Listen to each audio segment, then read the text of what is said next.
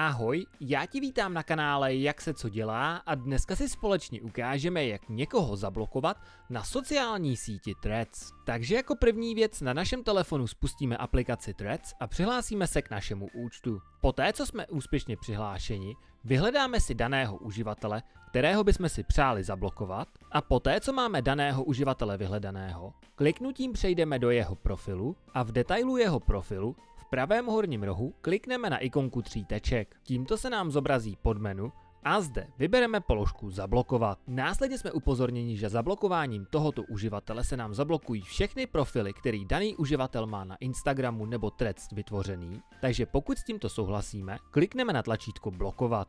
A tímto je po malé chvilce vše hotovo a daný uživatel je zablokovaný. Nyní, kdybychom si přáli uživatele odblokovat, tento proces provedeme stejným způsobem. Pokud se ti video líbilo nebo ti pomohlo, tak tam určitě nezapomeň dávat like, pokud znáš někoho, komu by video mohlo pomoct, tak budu moc rád za sdílení a já se na tebe opět budu těšit na kanále Jak se co dělá.